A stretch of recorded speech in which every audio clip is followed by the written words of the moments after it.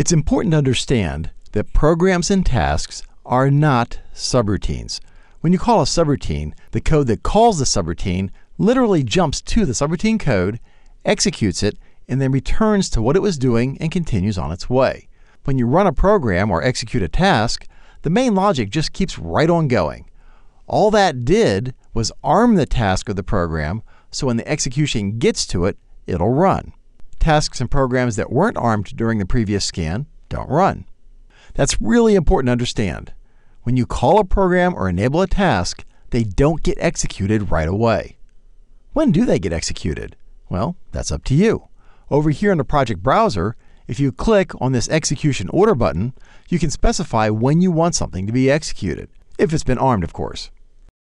Does the main program have to be run first? No. You can make it the last thing to run if you want to. Just beware if you enable a task or a program in the main program, it won't be executed until the next scan, which means it could be operating on inputs that have changed since the program or task was enabled.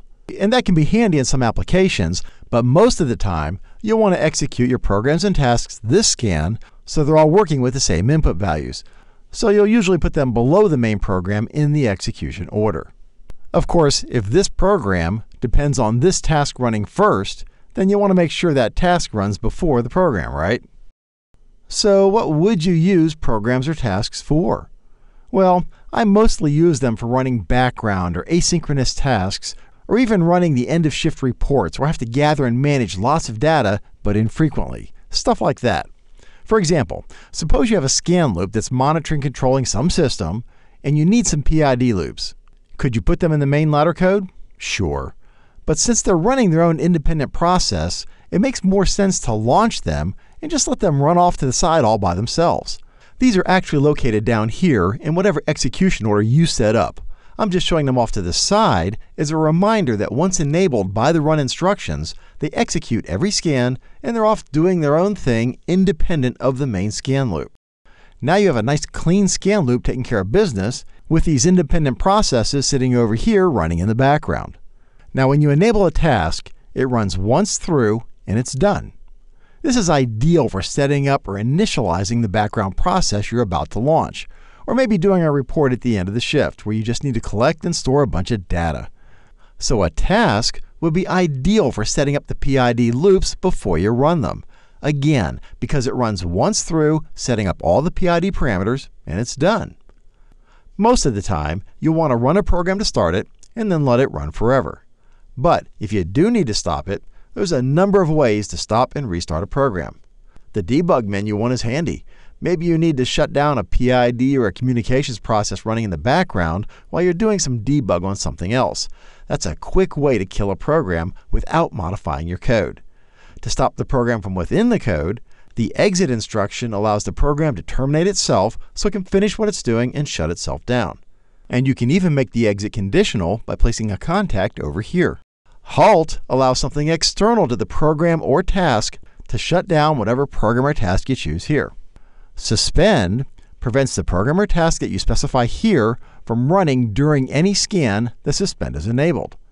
The key thing to understand here is suspend maintains the current state of the program or task, so when you remove power from the suspend instruction, the program or task picks up right where it left off. Maybe it was in the middle of a loop collecting data, but you needed to suspend that task while some other time critical process had to be taken care of. That time critical process simply suspends the task or program and then releases the program or task when it's done. That's a great way to ensure that background tasks don't interfere with time critical processes. Restart also halts a program or task, but it also resets the program or task so on the next scan it starts running from the beginning. That's for when you have a process that when it gets to a certain time of day or a certain level or something like that, and you need for it to restart regardless of what it's doing.